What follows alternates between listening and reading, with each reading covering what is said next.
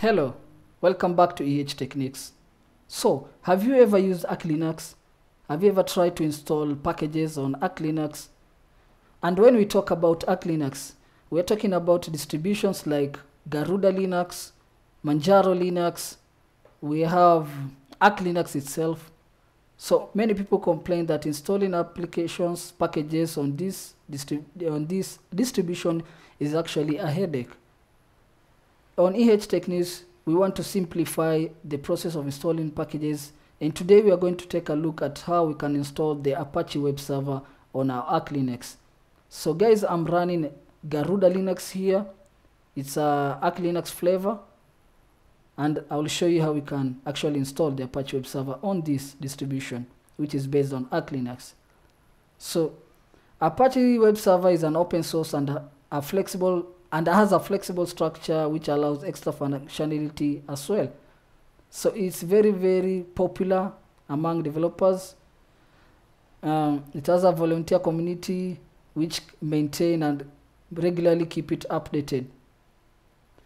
The website, so let's go, go through the installation process right ahead.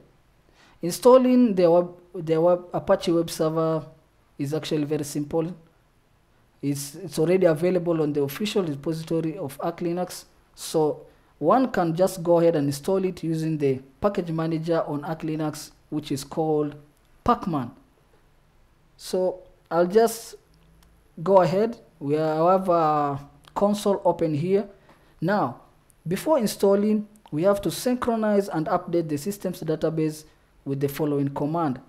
So it's always a good idea, even if you're using the other Debian distros like Kali Linux and Parrot, to always do a full system update and upgrade before installing any package. In Arch Linux Garuda here, we are going to go do we are going to do sudo pacman-syu and that will go ahead and synchronize, update and upgrade the system. So my system is already up to date and up to date up to oh sorry up to date. So there's nothing to do okay? Now let's go ahead and install the apache web server on an arch linux by issuing the following command. sudo pacman-s capital s then apache. Not apache 2 not apache 3 not apache or what it's apache.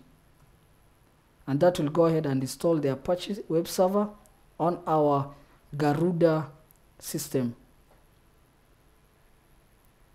And remember, the Apache service is associated with HTTPD and it must be enabled for the proper working of Apache. So we are going to do sudo system control enable HTTPD. Okay, that will enable the HTTPD service too. Then we are going to restart it. System control restart HTTPD. Okay, now, after doing this, we need to know if the Apache service is running. Uh, that's the only way we can confirm it's actually up and running. So I can do sudo system control uh, status httpd and you can see here it's active and it's running.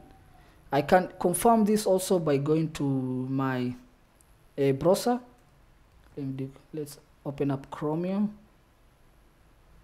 let's see if our local host uh, is up up and running. So I can do local host. So you can confirm guys the local host is actually up. Now it's empty because there's nothing on the var www http directory. So if you put files there they will come up here. So guys that's it. If you have any questions drop them in the comments below. Thank you. And remember to subscribe to my channel like my videos and share them. Ciao. See you in the next video. Thank you